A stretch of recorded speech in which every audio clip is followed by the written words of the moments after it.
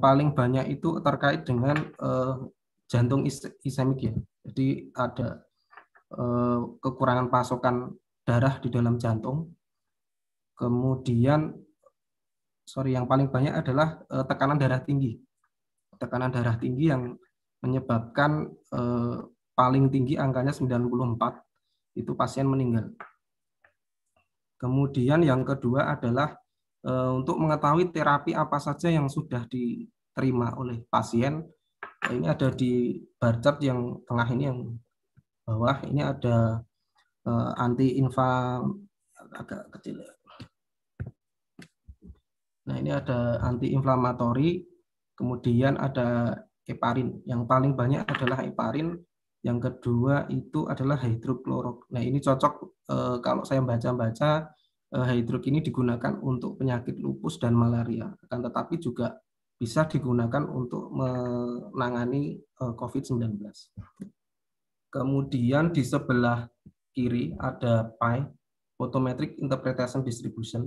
Ini merupakan hasil dari e, DICOM yang coba kami visualisasikan. Ini terkait eh, monokrom 1 dan monokrom 2. Apa itu monokrom 1? Monokrom 1 ini untuk melakukan eh, apa ya? perubahan gambar atau objek dari terang ke gelap. Kalau monokrom 2 itu dari eh, gelap ke terang. Kemudian data-data di kom tadi yang sudah kita proses, kita tampilkan di paling bawah.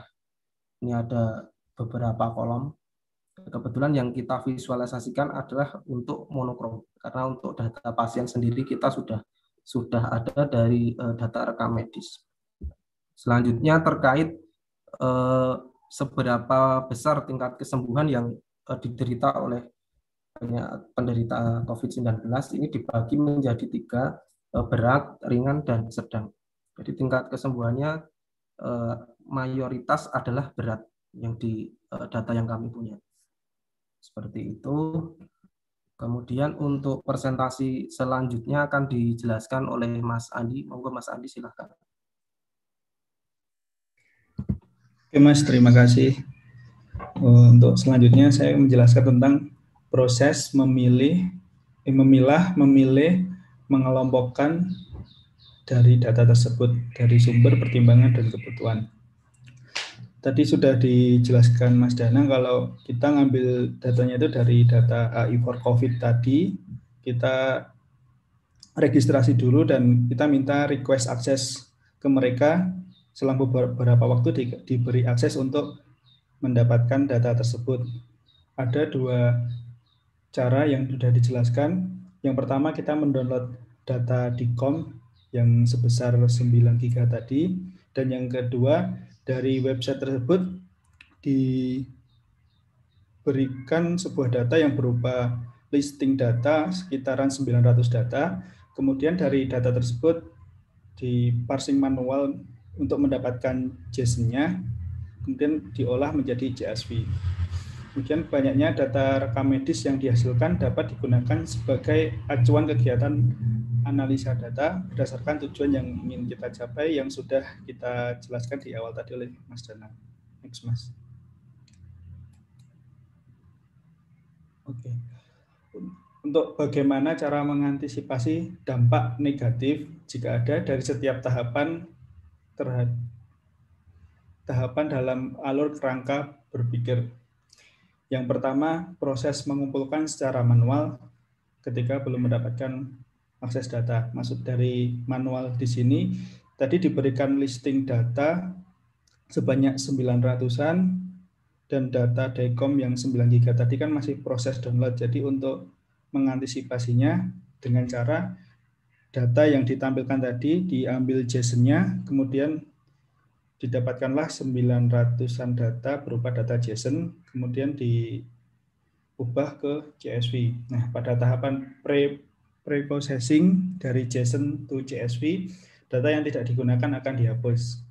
Tadi Mas Danang menjelaskan bahwa data yang kita dapat sekitaran 50-an field, kemudian yang data yang setelah difilter tadi tinggal 40-an field. Kemudian pada tahapan pre-processing, ekstrak dikom, data yang tidak sesuai dengan format CSV diubah delimiter datanya. Pada tahapan load data, memastikan semua data masuk ke dalam database. Apabila menemui error pada saat loading data, kita akan perbaiki dan sesuaikan berdasarkan informasi error tersebut. Pada tahapan load data, kita menggunakan file CSV yang diupload melalui Superset untuk memudahkan insert data. Pada tahap visualisasi, menggunakan tool Superset untuk memudahkan dalam pembuatan dashboard, karena sebagai data engineer tinggal memikirkan query yang dibutuhkan. Seperti yang sudah dipaparkan Mas Danang di slide sebelumnya, data-data berupa visualisasi tadi itu menggunakan tools yang bernama Superset yang dapat memudahkan kita untuk memvisualisasikan data yang setelah didapat tadi. Next, Mas. Lanjut slide berikutnya, Mas.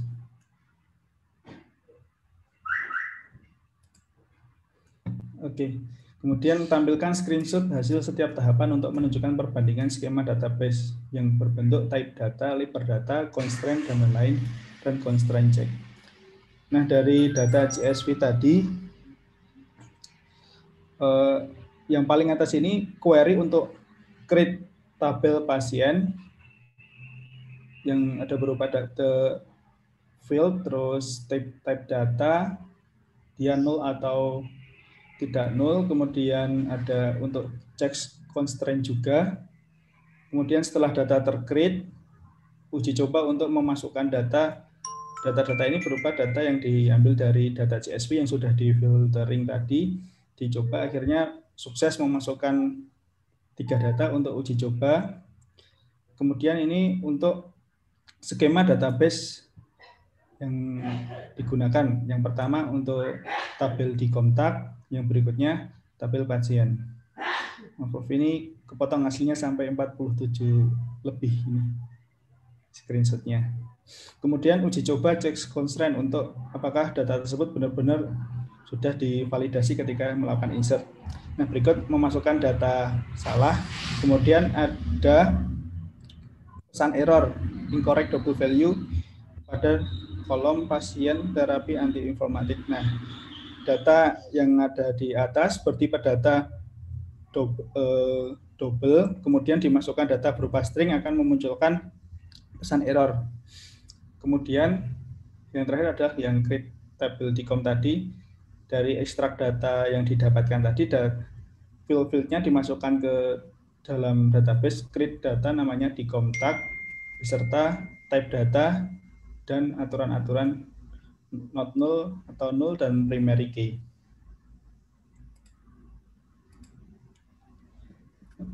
Untuk selanjutnya akan dijelaskan Mbak Irna. Terima kasih Mas. Nah, seperti yang sudah dijelaskan oleh Mas Danang di awal, uh, untuk kita mencari,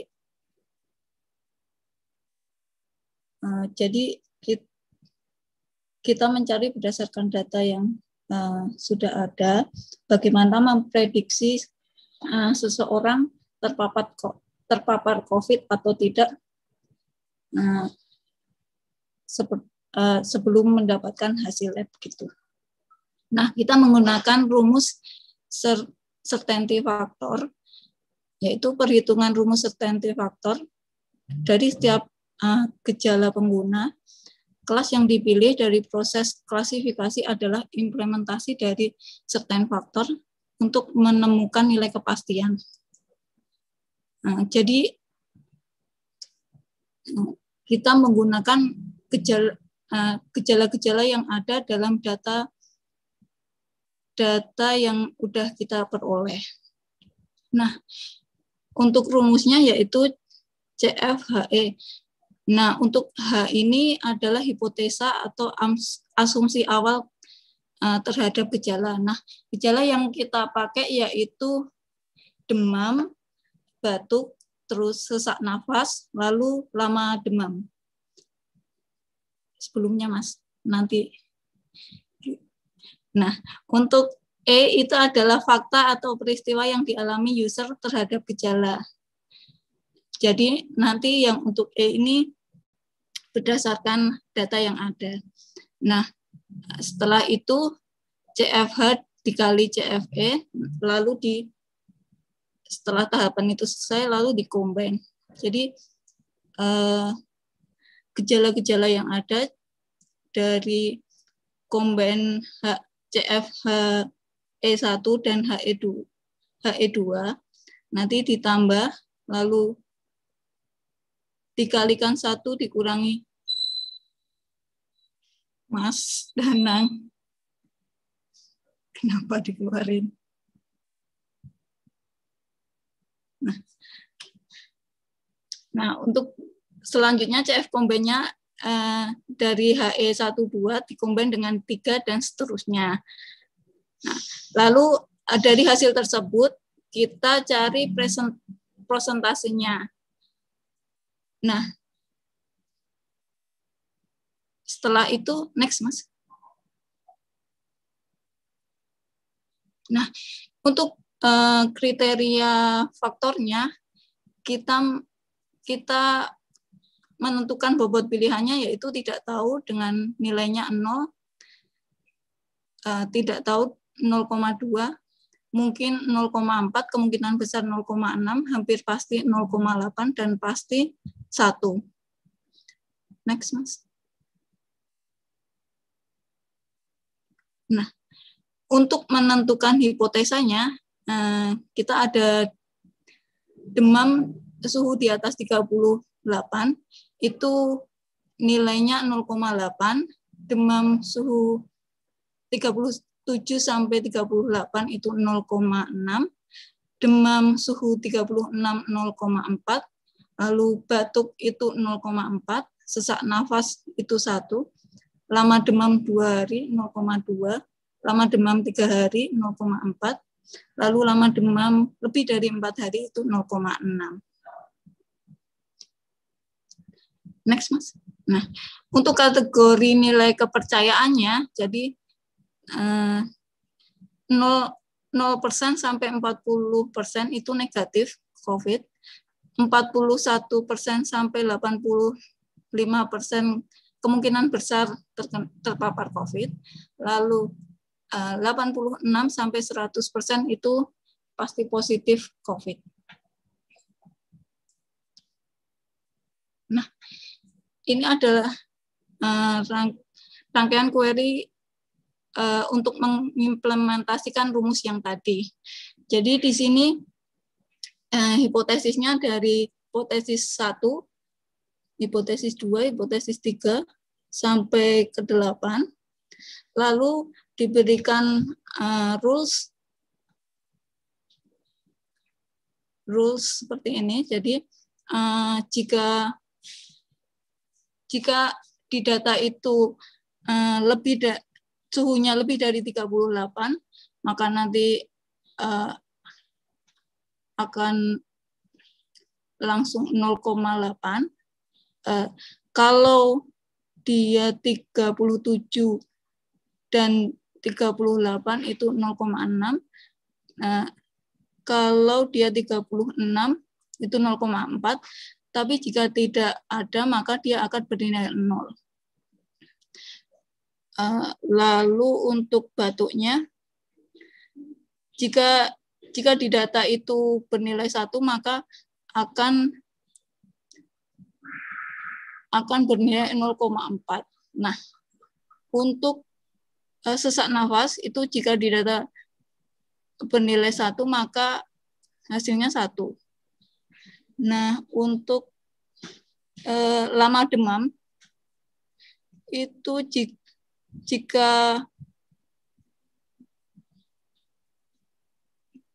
jika lebih jika dua hari maka 0,2 lalu jika tiga hari 0,4 atau lebih dari empat hari itu 0,6 lalu eh, di situ dikombin hitungan kombinnya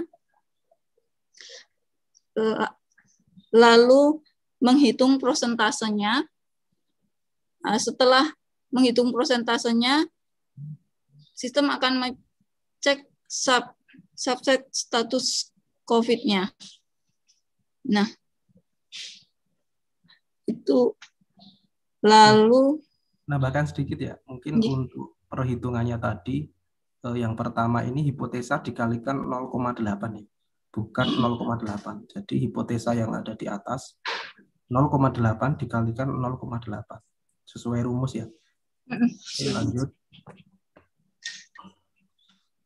Nah, eh, kita juga menghitung secara manual. Kita ambil dari dua pasien. Yang pertama itu pasien 102 itu dia mengalami demam uh, nya tiga antara 37 sampai 38. Jadi uh, dihasilkan 0,6 kali 0,6 hasilnya 0,36. Lalu dia mengalami batuk 0,4 kali hipotesanya 0,4 jadi 0,16. Lalu untuk sesak nafasnya dia tidak mengalami sesak nafas, jadi e, nilainya 0, satu kali 0. Lalu demamnya dia tiga hari, jadi 0,4. Jadi 0,4 kali 0,4, 0,16. Lalu kita combine dari HE1 dan 2, itu didapat 0,36 ditambah 0,16 kali 1 dikurangi 0,36 itu 0,62. Lalu dari komben 1 2 dikomben lagi ke 3. Nah, dari 0,42 ditambah 0 yang sesak nafas tadi 0 lalu dikalikan 1 dikurangi 0,60 0,462 dari hasil komben yang 1 2 tadi. Lalu kita hasil tadi lalu kita kombenkan ke yang hipotesa 4. Jadi 0,46 eh 462 ditambah 0,16 itu dari demamnya tiga hari dikalikan satu dikurangi 0,462 dari komben yang di atas tadi. Lalu kita, kita mendapatkan hasilnya 0,548. Nah, lalu kita menghitung hmm, prosentasenya. Jadi CF-nya dari hasil komben dikali 100% didapat 54,8 persen. Nah, itu untuk yang pasien yang pertama. Lalu yang kedua, Mas. Nah, kita juga uh, menghitung manual untuk pasien 151. Nah, untuk pasien 151 ini mengalami demam antara 37 sampai 38. Jadi uh, hipotesanya 0,6 dikali 0,6 0,36. Lalu dia tidak mengalami batuk jadi nilainya nol. Untuk di, tapi dia mengalami sesak nafas, jadi jadi nilainya satu dan dia mengalami demam tiga hari. Nilainya 0,4 kali 0,4 jadi 0,16. Nah, lalu kita combine lagi eh, menghasilkan 0,36 tambah 0 karena tadi tidak mengalami batuk, dikalikan satu dikurangi 0,36. Hasilnya 0,36. Lalu kita combine ke tiga, gejala tiga yaitu uh, sesak nafas.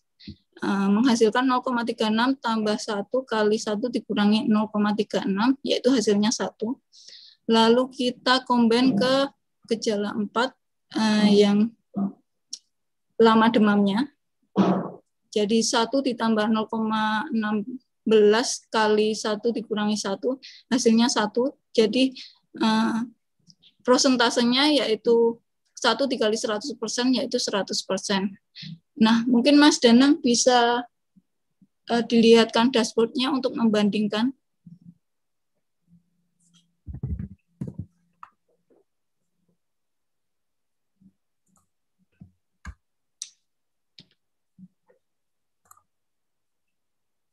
Tadi P102 ya, Mbak?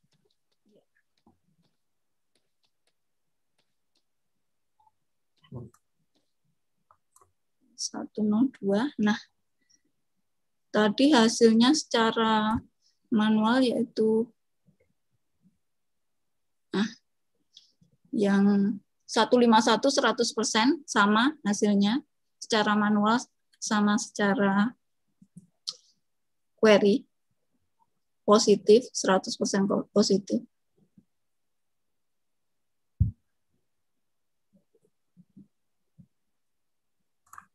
Nah, itu untuk uh, rumus certain faktornya tadi. Mas Alif sudah ada belum ya?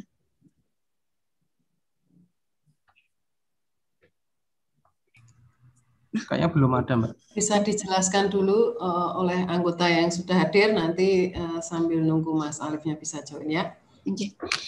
Nah, untuk uh, bagaimana jaminan bahwa upaya-upaya yang telah dilakukan akan menghasilkan smart data. Yang pertama yaitu data yang digunakan adalah data yang valid dalam jumlah yang besar. Yang kedua, dat dari data tersebut memiliki beberapa variabel yang dapat digunakan untuk mendeteksi COVID lebih awal. Misalnya suhu tubuh, batuk, sesak nafas, dan uh, lama demam tadi. Nah, dengan adanya visualisasi atau dashboard, memudahkan bisnis analis dalam mengambil keputusan atau kebijakan. Lalu selanjutnya yaitu metode certain faktor ini dapat digunakan untuk memprediksi apabila kita tidak cukup memiliki kompetensi dalam pengolahan gambar, citra, dikom dengan metode mesin learning. Nah, dalam metode certainty factor, kita juga dapat menambahkan variabel, variabel lain untuk menguatkan hasil prediksi. yang belum dilakukan. Yang pertama yaitu memanfaatkan Verticom ini untuk prediksi COVID-19 dengan menggunakan image processing. Yang kedua yaitu menambahkan jumlah variabel ke dalam certain faktor untuk menentukan positif COVID-19 atau tidak. Misalnya variabel seperti glukosa, PCT, IDH, LNR, PaO2, dan SaO2. Seperti itu. Seperti itu dari kelompok kami. Kurang lebihnya mohon maaf. Oke, terima kasih banyak Mas Danang, Mas Andi, sama Mbak Erna. Ini luar biasa.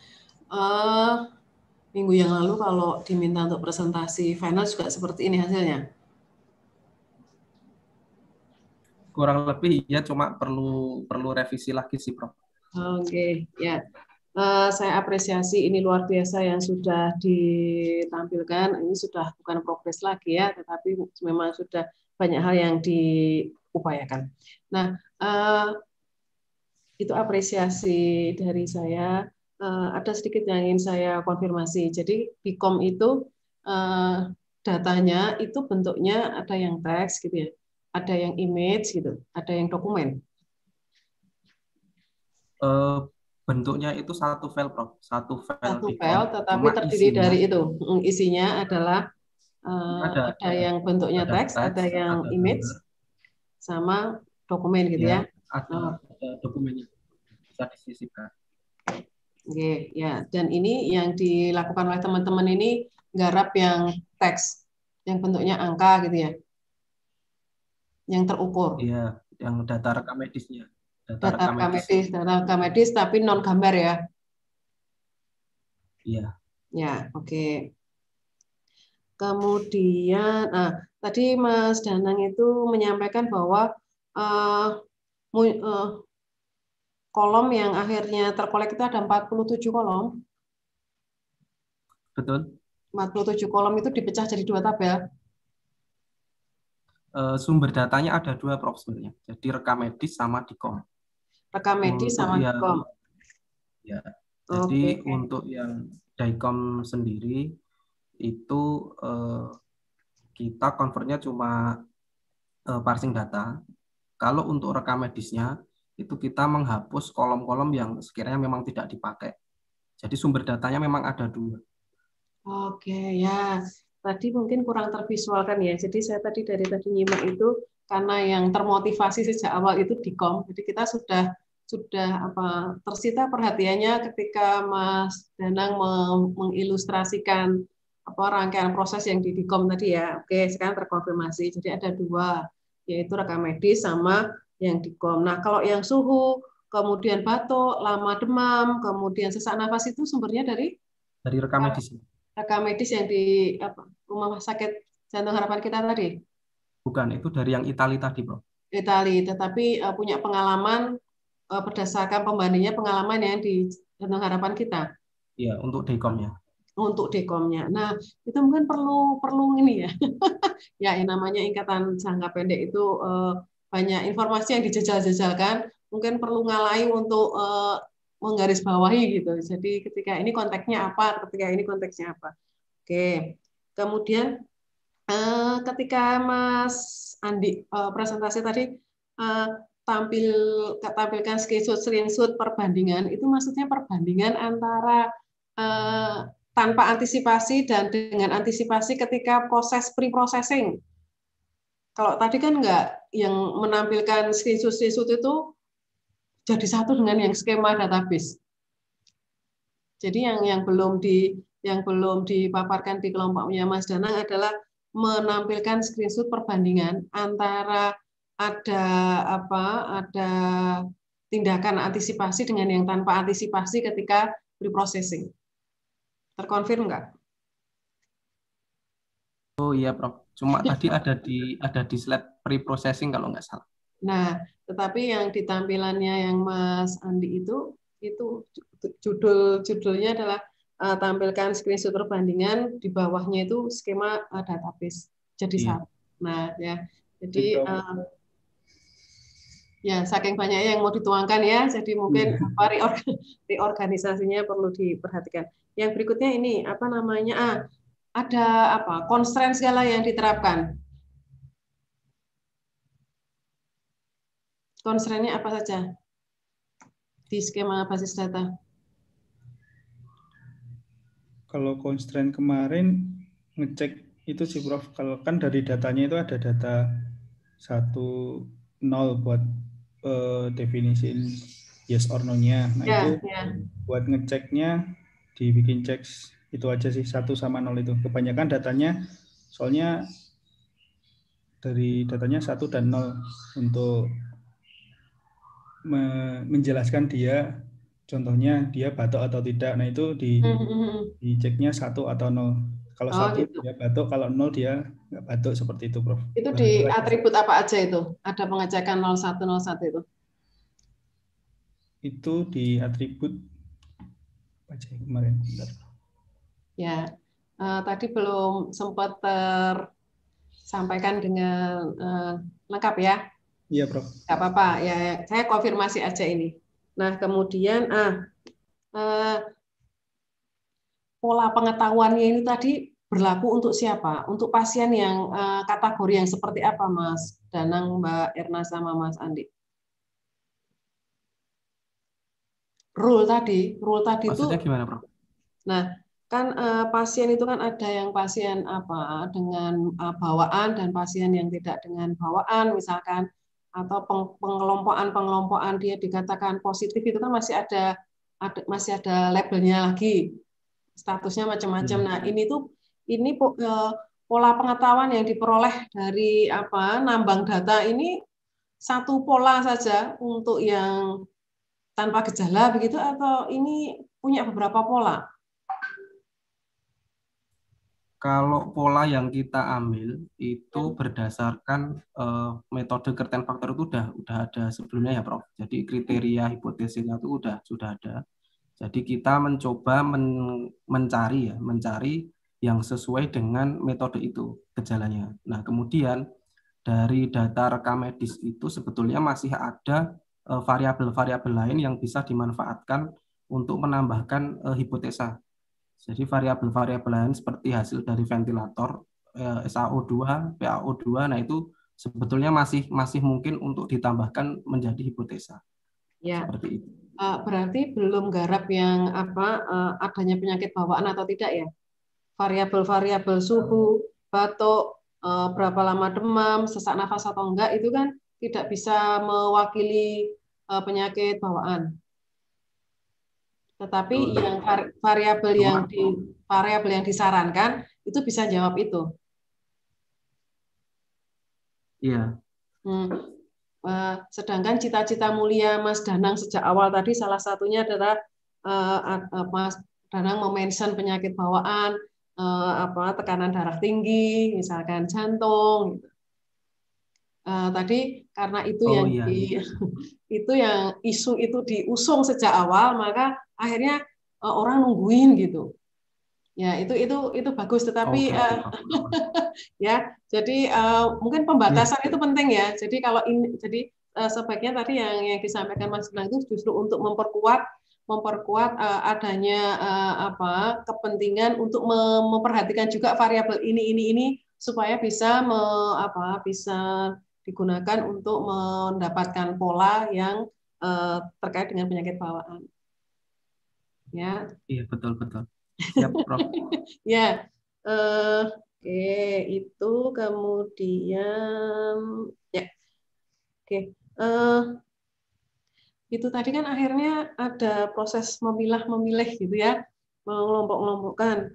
Akhirnya uh, dari 47 variabel tadi akhirnya kepake semua nggak tuh itu?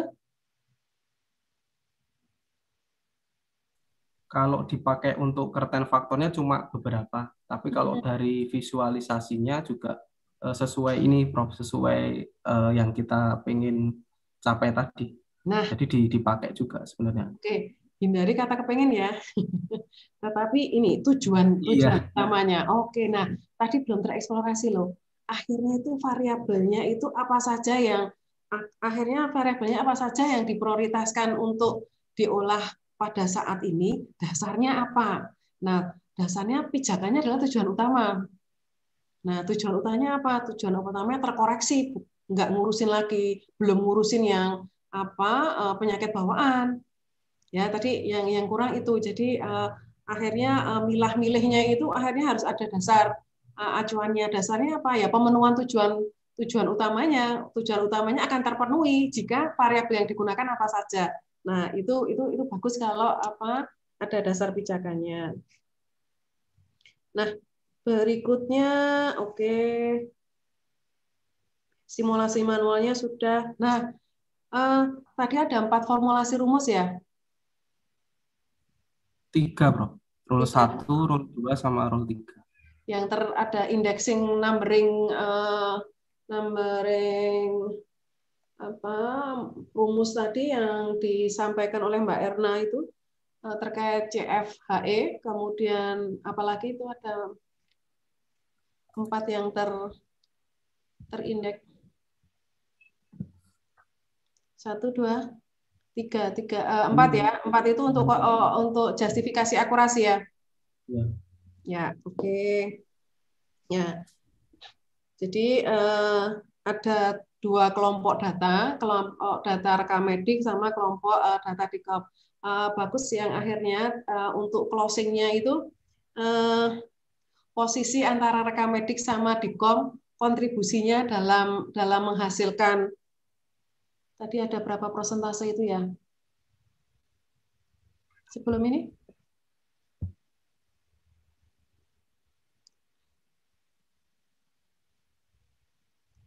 Tadi uh, yang apa perhitungan manual dan perhitungan berdasarkan query tadi cocok kan? Iya, cocok. Cocok. cocok. ya. Oke, okay, nah itu. okay. Nah, um, uh, itu bagus kalau kemudian di apa uh, closingnya itu dikaitkan sama yang uh, di kom dan rekam medik sebelum akhirnya muncul Eh, sekian variabel baru, sekian variabel yang yang itu sudah sudah kekolek tetapi belum digarap. Oh. Nah, maksudnya gini, atau sebenarnya ini murni murni kesul, murni ini hanya hanya apa nambang yang dari rekam medik, sedangkan di komnya itu memperkuat justifikasi atau bagaimana? eh, kalau tujuan awalnya itu pengen mengo pengen mengolah dari dikomnya juga Prof. Jadi eh, metadatanya itu kita coba eh, tampilkan gitu. Tapi ternyata eh, dikom yang kita punya itu untuk diagnosisnya atau data diagnosisnya atau catatan-catatan medisnya itu tidak ada.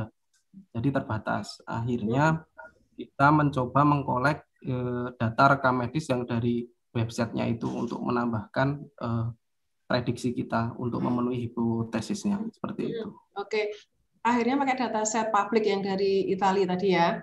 Ya. Oke, berarti di komnya itu di uh, di penelitian yang teman-teman lakukan itu uh, kontribusinya apa? Uh, belum belum belum belum digunakan, belum 100% digunakan. Oke, tapi sedekah, pintu sedekah masuk ya itu di kom itu adalah pintu masuk akhirnya teman-teman menemukan data set publik itu ya? Iya betul. Oke, jadi bagus juga ketika dikaitkan. Jadi image processing tadi eh, apa meng, akhirnya menambang data yang dari Dikom ya? Betul betul. Oke, ya terima kasih teman-teman luar biasa. Nah, eh, ISO ICT itu kan diperpanjang sampai tanggal 15 Juli, Mas Mas Danang, Mbak Erna, Mas siapa tadi, Mas Andi dan teman-teman eh, sekalian di di kelas ini apa kelompoknya Bu Astika itu submit ke mana Bu? Isira ya.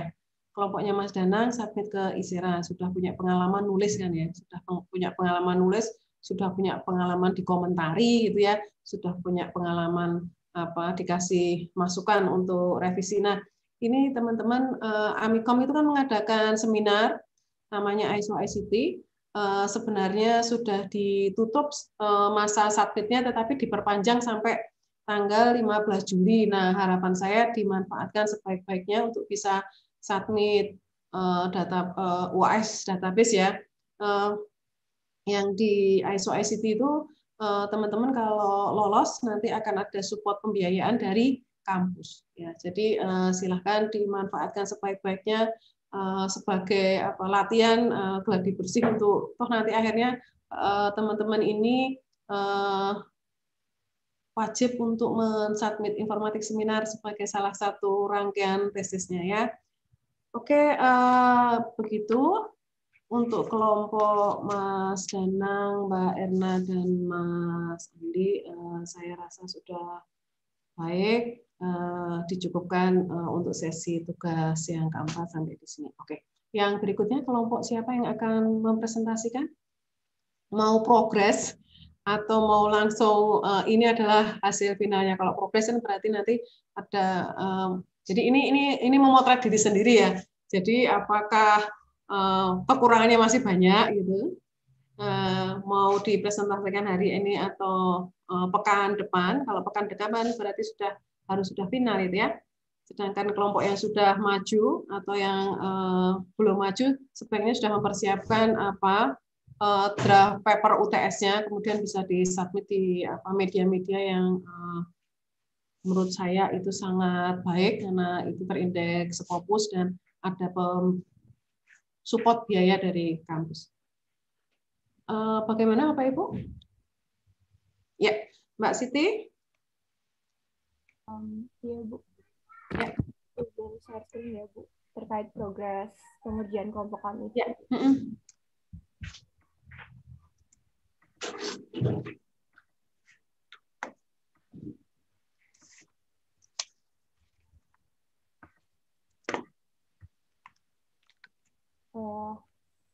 apakah sudah terlihat? Ya, sudah. Kalau presentasi kelompok kami. Ya, um, saya mulai. Assalamualaikum warahmatullahi wabarakatuh. Yang kami hormati Profesor Dr. Elma Utami, SSIMKOM, dan teman-teman sekalian. Pada kesempatan ini, saya mewakili kelompok tiga yang menyampaikan rencana penelitian kami terkait uh, kasus COVID-19 di Indonesia yang kami coba hubungkan dengan data iklim dari sumber BMKG. Uh, untuk infografis yang kami kutip dari Liputan 6 sendiri, ada 29 daerah di Indonesia yang masuk ke dalam zona merah COVID-19. Dalam peta zonasi di Indonesia sendiri, ada 29 kabupaten atau kota yang masuk ke dalam zona merah. Ada 339 kota yang masuk dalam zona orange, ada 121 kota yang masuk ke dalam zona kuning, 24 kota yang masuk ke dalam zona hijau, dan ada satu kota tidak terdampak. Tujuan utamanya dari penilaian ini adalah menggali dan mengolah data COVID-19 dengan mengimplementasikan beberapa algoritma atau metode sehingga mendapatkan pola data dan dapat melakukan prediksi data yang cukup akurat. Tujuan prediksi ini membantu dalam memberikan pertimbangan dalam pengambilan keputusan atau membuat kebijakan. Uh, untuk kasus COVID-19, uh, untuk datanya sendiri, kami mengambil sumber data COVID-19 dari COVID uh, Indonesia uh, COVID COVID.go.id uh, yang dihubungkan dengan data BMKG ada beberapa artikel yang sempat kami baca yang mengangkat mengenai uh, COVID yang mungkin saja dipengaruhi oleh uh, iklim. Jadi kami mencoba menghubungkan dan melihat beberapa uh, pola data melalui grafik hubungan kasus harian dengan kelembapan rata-rata. Jadi ada beberapa pola yang terbaca. Polanya memang tidak begitu uh, signifikan sama, tapi hampir mengikuti pola dari kelembapan rata-rata dan penyinaran matahari. Uh, meskipun untuk temperatur udara dan curah hujan sepertinya tidak terlalu sama, tapi ada beberapa data yang polanya mengikuti uh, pola kasus harian dengan pola iklim. Untuk studi literatur sendiri, uh, ada dua jurnal atau paper yang kami ambil. Yang pertama itu uh, COVID-19 time series menggunakan uh, data meteorologika sebagai parameternya. Lalu yang kedua ada uh, impact dari meteorological parameter terhadap transmisi COVID-19 di Bangladesh. Uh, untuk mekanismenya data sendiri, itu yang pertama adalah kami menetapkan sumber data sumber datanya sendiri sudah dijelaskan di awal, kami mengambil data dari covid19.go.id dan data online.bmkg.go.id. Lalu yang kedua, kami melakukan pengolahan data dengan melakukan konversi ragam data. Yang ketiga, kami melakukan proses preprocessing dan pembersihan data agar tidak ada data yang berulang dan inkonsisten. Yang keempat, kami melakukan perhitungan secara algoritma dan manual. Dan yang kelima, eh, hasil hasil analisis data, yaitu pengolahan data sesuai konsep data science, menghasilkan sebuah kesimpulan data atau pola data. Berikut yang kami lakukan untuk mengantisipasi dampak negatif dari ketidakakuratan data. Kami memilah sumber data yang terpercaya, memilah data dengan pola yang serupa. Dalam studi kasus kami, kami mm, mengambil data yang uh, mengambil data secara time series. Lalu menggunakan data tunggal, sumber data tunggal dari covid19.go.id milik pemerintah dan bmkg.go.id. Yang terakhir mencari referensi pendukung atau penelitian sebelumnya sebagai acuan pengembangan. Uh, yang selanjutnya akan dipresentasikan oleh Bu Astika. Baik, saya lanjutkan. Uh, untuk konsep big data ada dua kategori yang kita kelompokkan. Aspek-aspek yang sudah terpenuhi terlebih dahulu. Yang pertama volume. Uh, jadi uh, ukuran data terutama data kesehatan itu semakin hari semakin besar karena data yang kita ambil adalah data time series yaitu data harian. Yang kedua adalah variety di mana karakteristik datanya itu bermacam-macam dan tidak homogen atau tidak sama. Kemudian yang ketiga, velocity, um, karakteristik yang cepat berubah, baik uh, berupa variabelnya atau tipe datanya. Nah, kami melihat aspek data yang belum terpenuhi adalah uh, veracity, yaitu uh, data yang jumlahnya besar ini rentan terhadap validat, validitas atau keakuratan, sehingga selanjutnya perlu dilakukan analisis dan, uh, dalam pendukung keputusan yang lebih tepat. Kemudian uh, aspek yang kedua yang belum terpenuhi menurut kami adalah value. Uh, jadi data-data yang disajikan atau kita kita tambang juga itu akan uh, lebih bernilai tinggi lagi apabila diolah dengan uh, metode atau uh, algoritma yang lebih tepat. Next, Mbak. Pre, uh, untuk selanjutnya proses pre-processing. Uh, ragam data yang kami ambil dari dua website. Yang pertama adalah uh, BMKG, BMKB, BMKG menyediakan data online yang dipakai untuk uh, para peneliti untuk dilakukan penelitian, baik itu berupa data iklim ataupun data gempa bumi. Nah, kami lebih spesifik lagi ke data iklim. Jadi, data iklimnya BMKG menyediakan data grid. Data tersebut dihasilkan dengan metode interpolasi berupa peta penyebaran wilayah dengan resolusi 0,25 derajat. Dengan parameter yang kita ambil temperatur rata-rata, curah hujan, kelembapan udara, dan lama penyinaran. Data tersebut disajikan dalam bentuk harian. Kemudian data yang kedua kita ambil dari covid19.go.id. Uh, menu dengan um, kita ambil dari menu peta sebaran COVID. Datanya masih berupa grafik. Kita kita konversi ke dalam bentuk Excel. Fasilitas ini disediakan oleh Komite Penanganan COVID-19 dan Pemulihan Ekonomi Nasional uh, Indonesia itu berupa data peta sebaran. Kemudian kita ambil data hariannya per provinsi. Uh, biasanya isinya masih berupa data kasus aktif harian, kasus kematian, kasus sembuh, dan uh, kumulatif data harian. Next, Data yang kita ambil dari dua website tersebut, yang paling kiri itu adalah data dari uh, covid19.go.id. Uh, terdapat data per provinsi. Uh, ketika kita melakukan penambangan data ini, uh, relatif datanya uh, utuh atau tidak ada data yang kosong. Sedangkan untuk sebelah kanan itu data dari uh, data online BMKG berupa data uh, cuaca harian dengan beberapa kriteria yang kita ambil itu masih ada data yang tidak utuh ya. Ada data 888 adalah data yang tidak terukur dan ada data 999 itu uh, tidak ada pengukuran pada hari itu. Selain itu juga ada data kosong untuk beberapa provinsi uh, di DKI Jakarta terutama itu seperti kita lihat pada kolom RR itu tidak ada data sama sekali dan atau nol atau juga ada nol. Lanjutnya Mbak. Nah, akhirnya kita melakukan format data agar menyamakan standar standarisasi.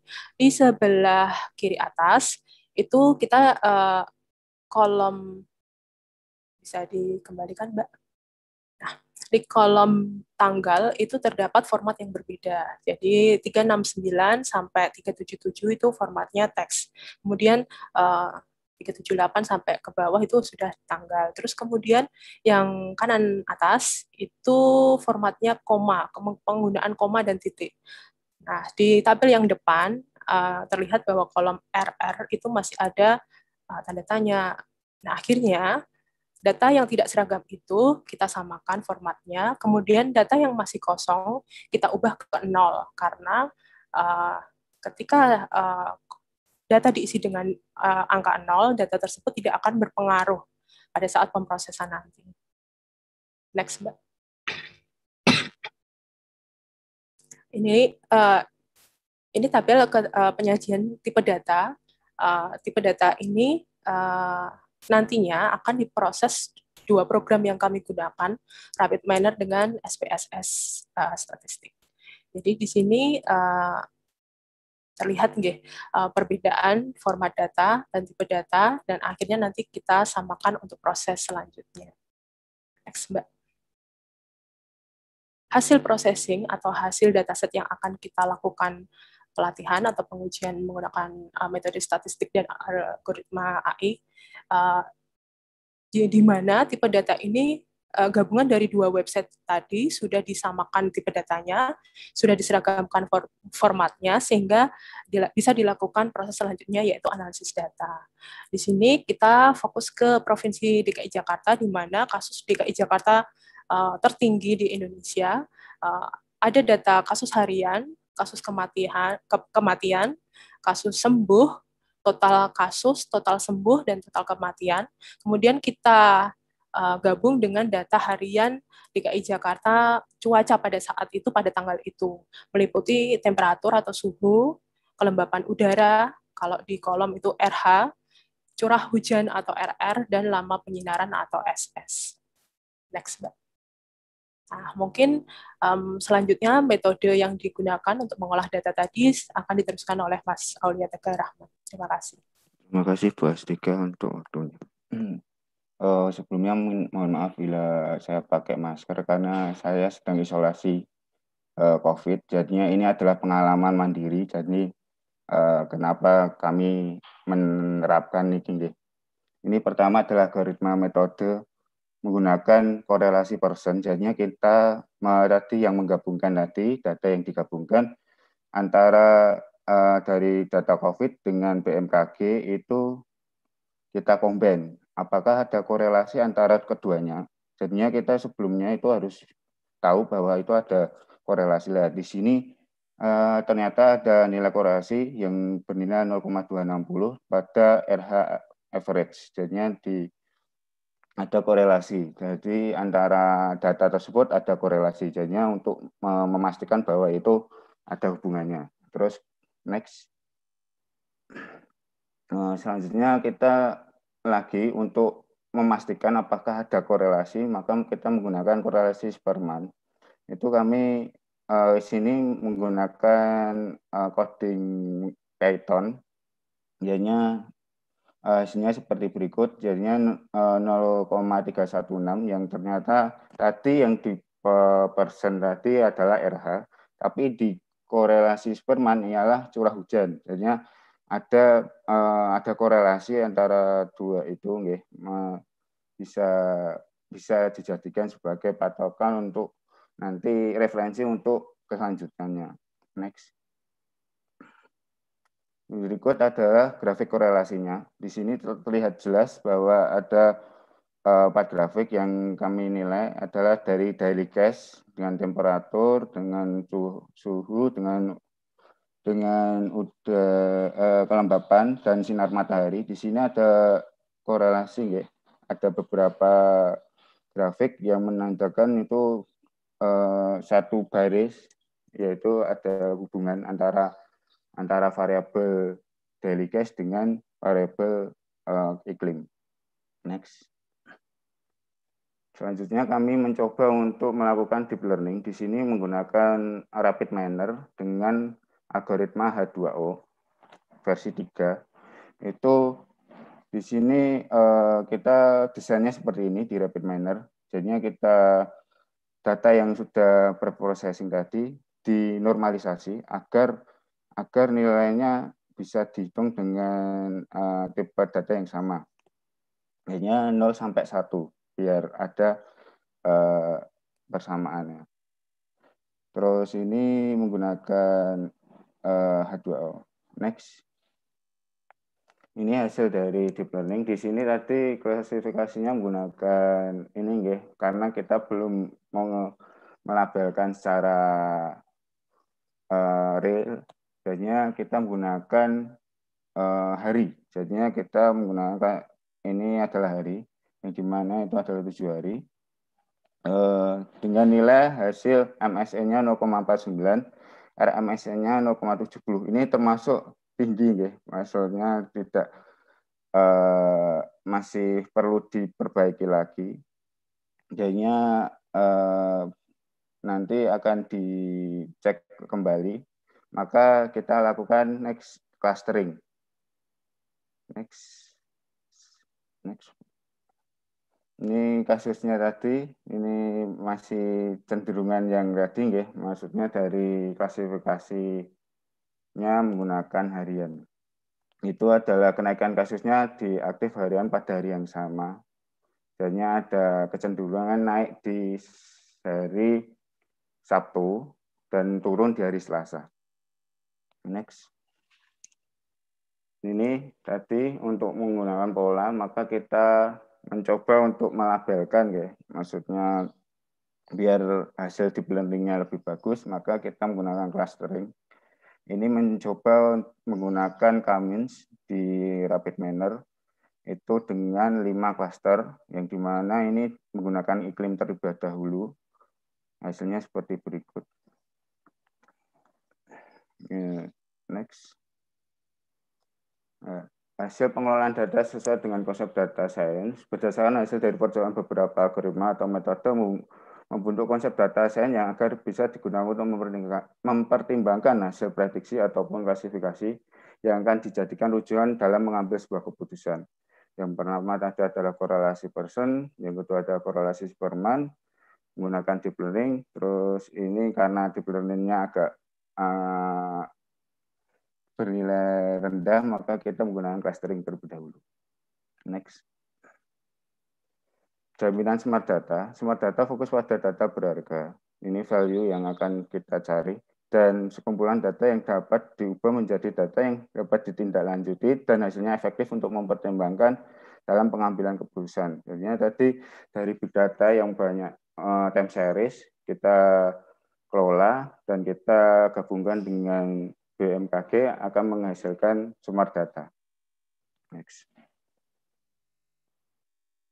Uh, peluang penelitian selanjutnya ialah lebih dengan sampel data yang lebih besar sangat diperlukan untuk mengetahui faktor apa saja yang bisa menurunkan kasus harian COVID-19. Agar lonjakan kasus COVID-19 seperti saat ini dapat diketahui sehingga sarana pendukung dalam mengambil keputusan dan sosialisasi pada masyarakat. Jadinya di sini kita ambil sebuah keputusan agar nanti eh, memberikan eh, sosialisasi ke masyarakat bahwa ternyata cuaca itu bisa mempengaruhi kondisi COVID. Next. Next. Ya, sekian dari kelompok kami. Terima kasih. Semangat bangkit dari Corona. Ya, terima kasih banyak Mbak Astika, Mbak Siti, sama Mas Aulia. Mas Aulia lekas sembuh ya, Mas. Amin. Ya, itu apa? Eh, terpaparnya dari mana, Mas? Terpaparnya dari saya sering itu Bu, berhubungan dengan itu nggih, apa rekan-rekan kantor eh, sejawat.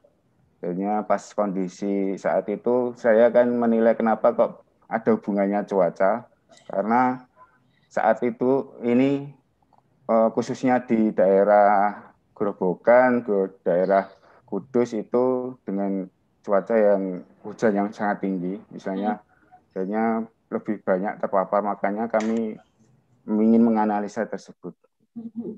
Ya, ini sudah hari keberapa ini? Ini udah hampir tujuh hari. Oh. Udah Ya, lekas sembuh ya, Mas. Iya. Ini luar biasa sakit ya masih masih presentasi. Oke, uh, atas Mahnul. Yang berikutnya, nah ini kan topik yang diangkat sama ya, tapi dengan sudut pandang uh, variabel yang berbeda. Kelompoknya Mas Danang bisa memberikan apresiasi, Mas. Mas Danang, Mas Andi, sama Mbak Erna. Baik, Bro. Yeah. Oke, untuk yang untuk yang pertama tadi di, disampaikan eh, saya tadi agak, agak sedikit mengalami apa ya laptop hang ya, jadi tidak tidak terlalu uh, jelas terkait uh, tujuan utama. Jadi saya pengen pengen menanyakan terkait uh, tujuan utama dari data yang sudah diperoleh itu untuk memprediksi apa ya untuk kasus ini, karena kan tadi dilihat uh, ada peta sebaran antara yang uh, dari dua sumber data yang berbeda. Nah itu saya pengen tahu tujuan tujuan utama dari dari teman-teman itu apa. Kemudian uh, yang selanjutnya faktor-faktor apa saja yang bisa menyebabkan sebaran di suatu wilayah itu tinggi dan apakah ada antisipasinya Kemudian yang kedua, yang selanjutnya adalah dasar atau pemodelan apa yang digunakan untuk e, menentukan bahwa atau jaminan bahwa iklim itu ber, berpengaruh terkait e, pertumbuhan COVID-19. Apakah ada variabel lain yang yang perlu digali lagi terkait eh, di suatu wilayah itu kok sebarannya tinggi, apakah hanya iklim saja atau masih ada variabel lain. Kemudian eh, itu dulu mungkin Prof. Kalau ya. mungkin dari Mas Andi dan Mbak Erna silakan. Ya, ya, terima kasih Mas Danang. Ini dengan banyaknya apa uh, masukan atau konfirmasi itu berarti apresiasinya semakin tinggi ya Mas Danang. Nyimak gitu dari awal sampai akhir. Oke, Mas Andi, Mbak Erna ada tambahan? Sementara belum, Bro. Oh, J. Mbak Erna? Belum, Bro. Oh. Nanti menambahkan ya kalau sudah sudah apa menemukan hal-hal yang bisa digunakan untuk mengapresiasi apa kinerja dari kelompoknya Mas Aulia, Mbak Astika dan Mbak Siti. Uh, monggo uh, tanggapannya.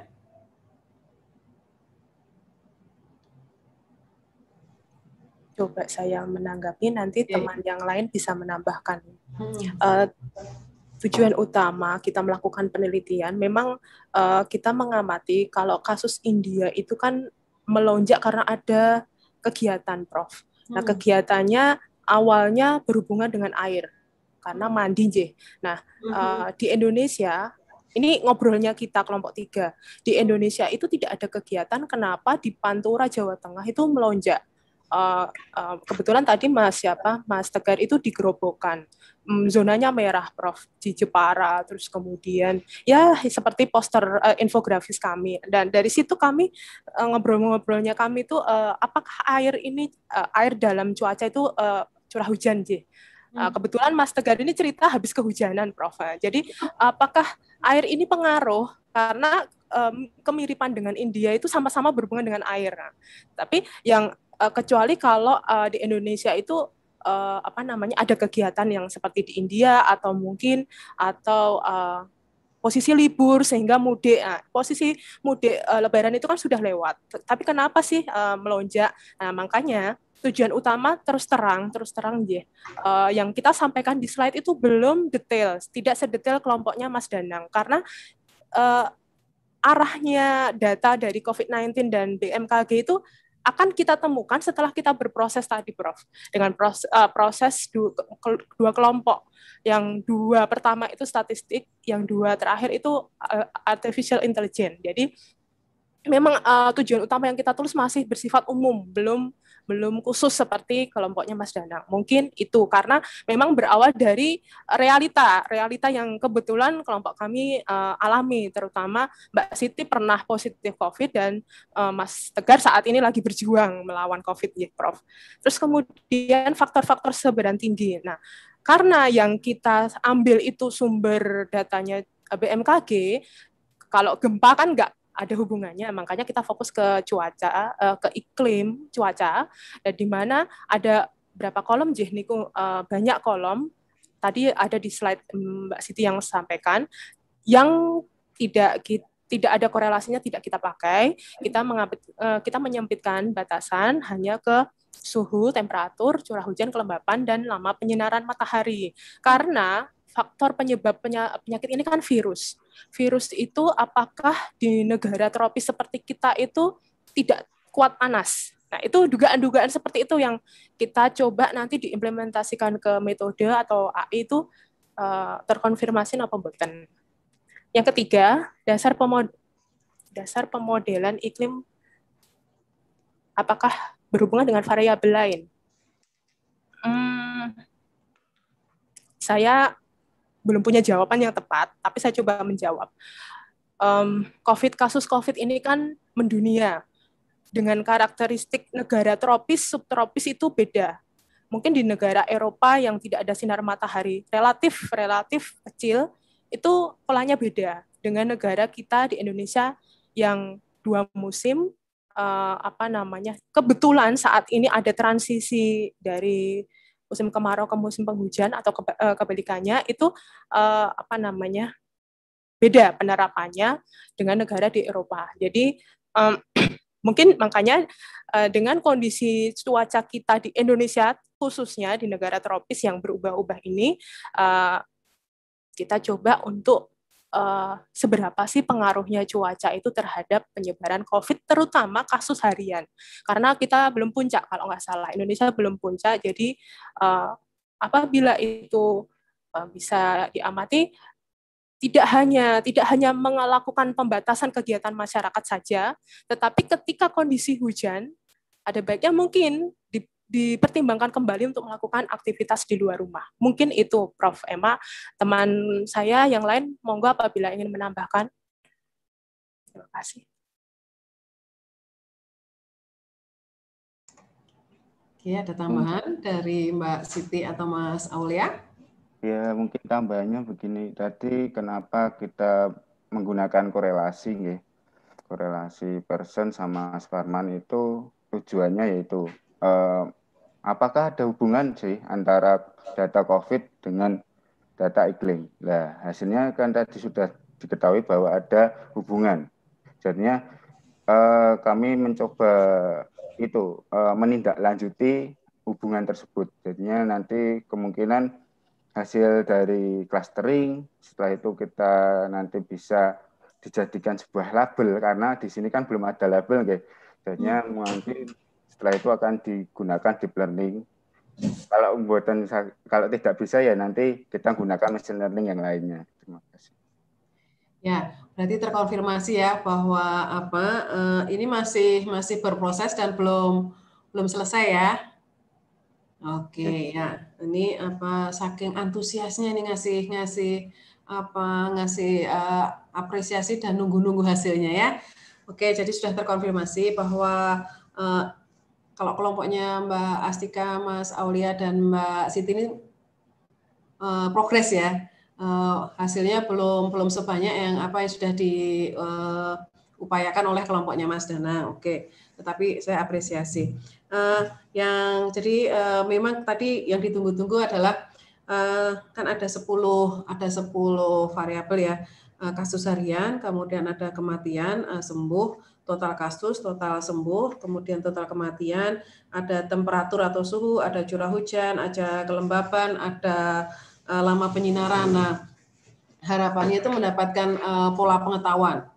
Jadi uh, jika jika kondisinya yang begini begini begini itu ternyata memang uh, punya kontribusi untuk apa menambah menambah kasus COVID misalkan atau menambah kematian atau uh, menam, uh, ternyata faktor yang menyebabkan apa uh, si pasien jadi sembuh itu apa saja gitu misalkan sehingga uh, harapannya nanti ada semacam apa grafik yang bisa memberikan tingkat eh, apa, tingkat hubungan atau tingkat pengaruh antara eh, 10 variabel itu. Nah, bagus juga misalkan ini kan apa yang diberikan contoh adalah DKI gitu ya, di mana DKI itu eh, termasuk yang terbanyak di Indonesia kasusnya. Eh, bagus kalau bisa nambah data ini apa data yang bisa memprofil demografi. Itu Jakarta yang di bagian mana misalkan ya. Kemudian kepadatan penduduknya seperti apa gitu. Sehingga eh, kelembaban udara itu bisa bisa lebih spesifik terhadap kelembaban lingkungan misalkan ya. Kemudian eh, di situ secara apa demografi itu penduduk yang ada di situ tuh kebanyakan anak kecil balita gitu misalkan. Atau usia produktif atau usia apa lanjut usia atau apa namanya ada apa ada kondisi-kondisi tertentu misalkan. Atau itu itu gendernya apa laki-laki atau perempuan. Sehingga kita bisa memprofil lebih lebih spesifik gitu. Jadi eh, kemudian mungkin bisa bisa dipilah-pilah lagi ya. Eh, itu kan ada kematian, ada sembuh, ada nah itu misalkan difokuskan pada satu atau dua saja misalkan. Sedangkan yang cuaca itu juga misalkan cuaca itu kan ada ada temperatur, ada curah hujan, ada kelembapan, ada lama penyinaran. Nah itu kalau di diseleksi lagi misalkan, sedangkan kemudian nambah nambah karena ini kan anu, khas sekali kalau Jakarta itu ya uh, uh, padat, uyek-uyekan gitu misalkan ya. Uh, Eh, karena padatnya gitu empet-empetan sehingga mungkin penyinaran juga tidak begitu memadai kondisinya lembab misalkan eh, apa mungkin protokol kesehatan juga tidak begitu ketat terpantau nah nah harapannya nanti bisa bisa ini bisa lebih lebih mengerucut eh, apa namanya eh, pola pengetahuannya gitu kalau yang sekarang itu kan cita-cita mulianya luas banget gitu ya walaupun sudah dibatasi Jakarta tetapi apa eh, antara data yang diambil dari uh, apa webnya COVID dengan BMKG itu kan apa datanya masih luas gitu. Kalau dispesifikan itu kok menurut saya kok jauh lebih lebih apa pengetahuannya jauh lebih apa, spesifik gitu. Kemudian uh, ditambahkan dengan yang profil demografi. Jika diperoleh sebagai faktor-faktor yang mempengaruhi apa saja. Bisa jadi faktor yang mempengaruhi setiap sama-sama di Jakarta tetapi di beda demografi akan berbeda juga faktor-faktor uh, besarnya faktor yang mempengaruhi di, di, di, di kasus yang ada di situ. Uh, ya, ada yang di, ingin disampaikan. Kelompoknya Mas Kria akan memberikan apresiasi.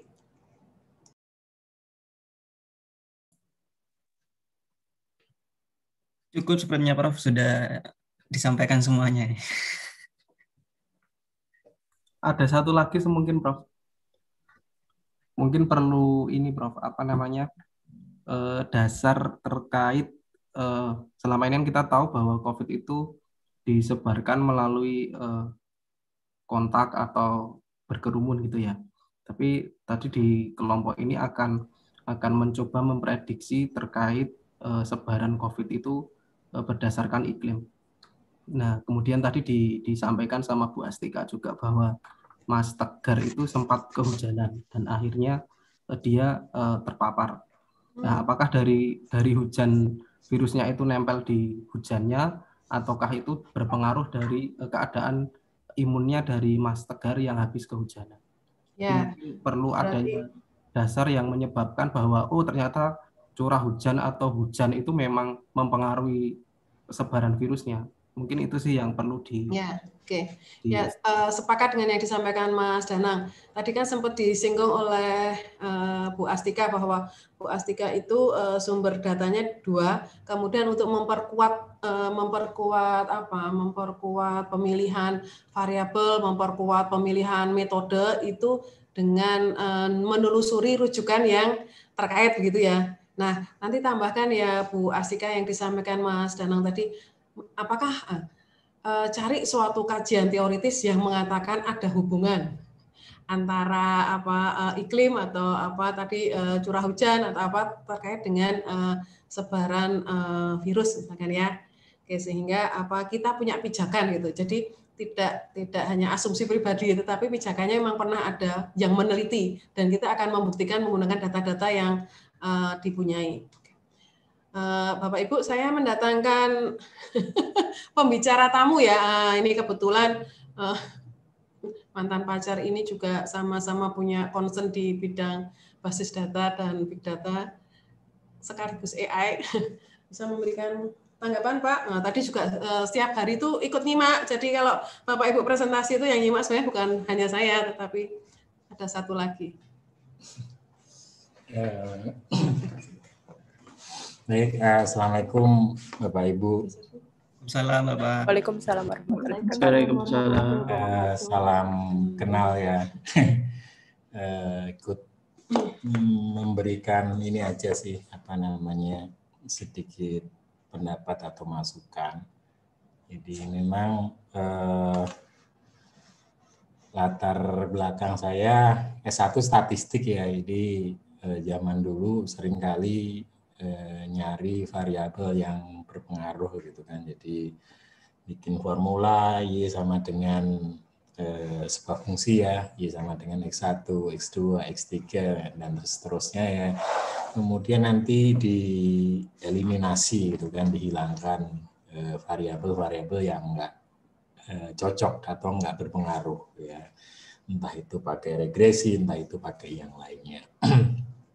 nah sekarang Eh, berbagai kemajuan ya eh, dalam komputasi khususnya dengan dengan ilmu komputer itu sangat pesat ya sehingga khususnya data ya data bisa diperoleh dengan dengan mudah ya atau dengan lebih cepat. Nah untuk COVID ini memang banyak variabelnya, banyak yang dicari gitu kan. Tapi tadi yang belum saya dengar gitu kan, dan mungkin rujukannya sudah ada bahwa Eh, kerumunan gitu kan eh, itu punya andil ya. Jadi kalau misalkan kerumunan di sini mungkin bisa dicek eh, hari libur gitu kan.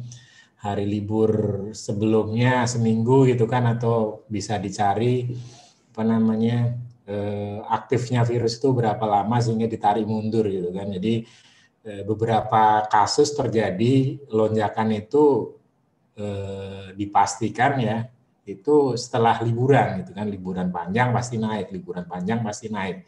Nah itu tadi sepertinya belum saya dengar. Sehingga eh, variabel itu mungkin perlu ditambahkan.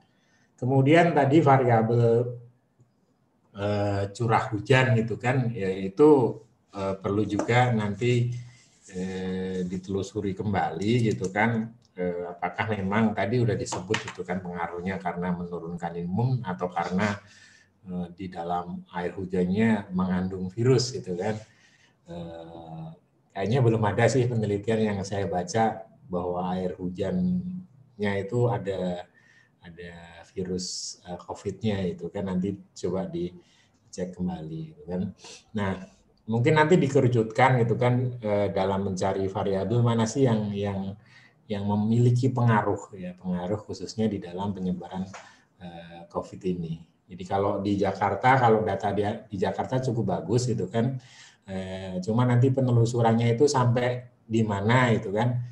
jadi apakah Eh, itu warga yang mobilitasnya rendah, apakah mobilitasnya tinggi itu saya nggak tahu apakah bisa bisa ditelusuri.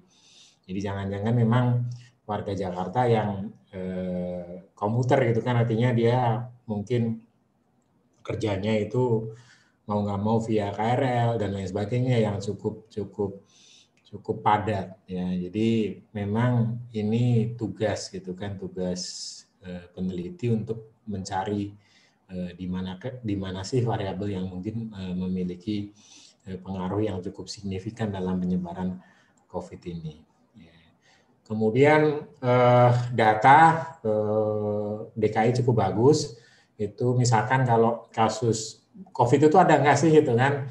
Jadi kalau kita lihat di di statistiknya DKI itu kasus kematian di tahun 2020 itu sudah meningkat 22 persen gitu kan artinya bahwa eh, pasti ada itu kan pasti ada kaitannya dengan pandemi ini itu kan nanti kita tunggu eh, statistik di 2021 itu kan saya baca kemarin eh, bahwa peningkatan jumlah kematian itu mencapai 22 persen eh, tahun 2020 dibanding 2019 ya. jadi kalau bisa dicari itu kan data yang lain misalkan yang yang eh, apa namanya daerah yang nggak terlalu memperhatikan gitu kan misalkan Kudus, Bangkalan gitu kan itu kan mungkin karakter gitu kan dari dari penduduknya yang mungkin eh, lebih berani gitu kan itu eh, tinggal dilihat data statistiknya kalau ada gitu kan apakah memang terjadi peningkatan yang cukup signifikan atau enggak.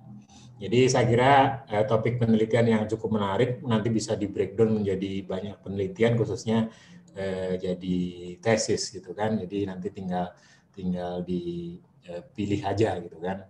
Jadi belum lagi kalau misalkan ditelusuri lebih detail eh, yang yang mungkin eh, kembali sehat, yang parah, yang meninggal itu ada faktor-faktor eh, dan lain sebagainya itu bisa ditelusuri lebih detail. Ya, jadi eh, beberapa data misalkan yang dibaca di media sosial itu cukup banyak yang parah itu karena komorbid gitu kan karena memang ada ada apa namanya eh, faktor-faktor yang lainnya. Nah di apa namanya mata kuliah di BMS gitu kan, nah ini apa gitu kan yang bisa bisa dieksplorasi ya khususnya eh, di mata kuliah di BMS. Jadi kalau sekarang eh, sistem manajemen basis data kan ada yang apa relasional yang sudah umum ya. Tapi ada juga eh, basis data yang non relasional gitu kan, ada yang eh, MongoDB gitu kan, ada yang Firebase dan lain sebagainya.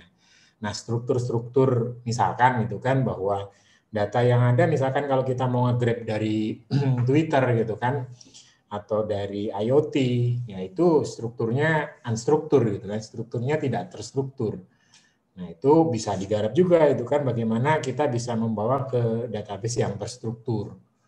Ya, jadi bisa jadi pembahasan sendiri gitu kan. Karena kalau database yang di media sosial uh, dan mungkin di IoT ya itu kan uh, susah untuk langsung ke database yang bersifat struktur seperti relasional. Nah, itu diperlukan middleware, diperlukan uh, antarmuka. Nah, ini juga bisa digarap gitu kan.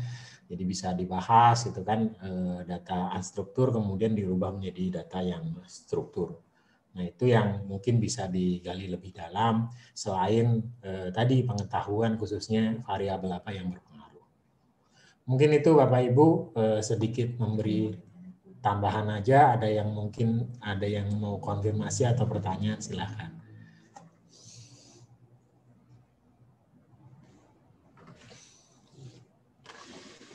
Oke, Bapak Ibu, ada yang mau dikonfirmasi? uh, saya Prof. Yeah. Uh, terima kasih sekali ini kesempatan luar biasa ada narasumber uh, dari suami Jeff. Uh, yeah. Terima kasih Bapak uh, atas waktu meluangkan memberi masukan ke kasus yang kami angkat. Terima kasih sekali. Uh, tadi sudah kami catat, saya catat, Prof. Uh, nanti uh, apa namanya um, berjalannya waktu, uh, Prof. Emma bersedia kami kontak untuk yeah, yeah. Uh, konsultasi, Prof. Siap. Ya. Terima kasih Prof. Emma ya, dan Bapak. Moga-moga ya, sehat ya. selalu. Ya, amin amin ya. Uh, Bapak Ibu yang apa apa konsultasi gitu ya yang biasanya via Japri itu sebenarnya yang itu juga kami diskusikan sehingga jawaban-jawaban yang saya berikan itu adalah hasil hasil rembukan kami berdua gitu ya. Nah, uh, masih ada dua dua kelompok entah kelompok yang personal dan kelompok yang apa satu tim ya. Mas Gray dan Pak Arief uh, harapan saya dua kelompok yang sekarang maju itu bisa menginspirasi untuk bisa mengetahui saja dalam apa toh yang perlu perlu dituangkan dalam tugas yang keempat ini ya. Mas Gray ya, kayaknya udah ngantuk Ya, kemudian uh, kelompok yang sudah uh, maju hari ini bisa segera nyusun draft uh, paper untuk UAS-nya. Nah, uh, supaya mungkin tidak perlu apa mengulang gitu. Uh, Pak Aulia, Bu Astika dan Bu Siti ini ini sebenarnya seksi sekali gitu topik yang uh, kelompok oh, Bu Astika angkat walaupun ini masih progres ya. Namun nanti kalau ini dijadikan paper uh, perlu untuk ditelusuri lebih lanjut terkait dengan uh, feedback-feedback yang telah uh, saya berikan, Pak Swanto berikan dan Pak Mas Danang serta teman-teman lain ya. Uh, begitu uh, manfaatkan Bapak Ibu yang uh, salah satu yang terdekat adalah yang ISO ICT itu ya. Oke. Okay. Uh, ya uh, mudah-mudahan uh, diskusi ringan kita sebenarnya ngomongin hal yang berat tetapi kita kita diskusikan dengan kekeluargaan uh, mudah-mudahan ini apa ada teman yang memang apa tertarik untuk menseriusi jadi jadi apa penelitian yang lebih serius lagi syukur-syukur sampai tesis ya minimal supaya tidak menguap ini dijadikan paper untuk UAS. Oke. Okay. Eh, Bapak Ibu terima kasih banyak atas perhatiannya, atas saling saling memberikan inspirasi di pagi hingga siang hari ini. Eh, kita ketemu lagi pekan depan. Sehat selalu. Assalamualaikum warahmatullahi wabarakatuh. Wassalamualaikum